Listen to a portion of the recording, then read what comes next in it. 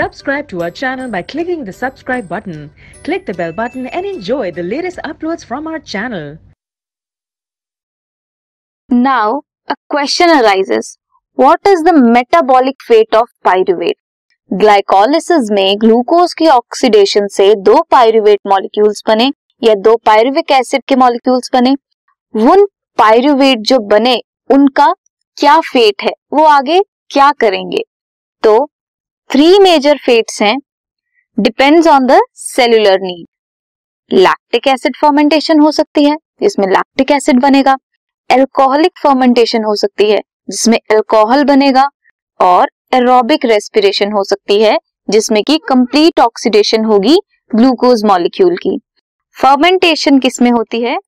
Fermentation alcoholic हो या lactic acid fermentation anaerobic condition में होती है। इन प्रोकैरियोट्स और यूनिसेलुलर यूकैरियोट्स एरोबिक रेस्पिरेशन किसमें होती है? एरोबिक रेस्पिरेशन होती है क्रैब साइकिल होती है। जितने भी यूकैरियोट्स हैं, हम ह्यूमन बींग्स में क्या होता है? एरोबिक रेस्पिरेशन होती है। For the complete oxidation of glucose so ये है पायरुवेट का फेट जिसमें वो लैक्टिक एसिड में कन्वर्ट हो सकता है एल्कोहल में कन्वर्ट हो सकता है, या फिर फर्दर एरोबिक रेस्पिरेशन करेगा कंप्लीट ऑक्सीडेशन करेगा ग्लूकोज मॉलिक्यूल्स की।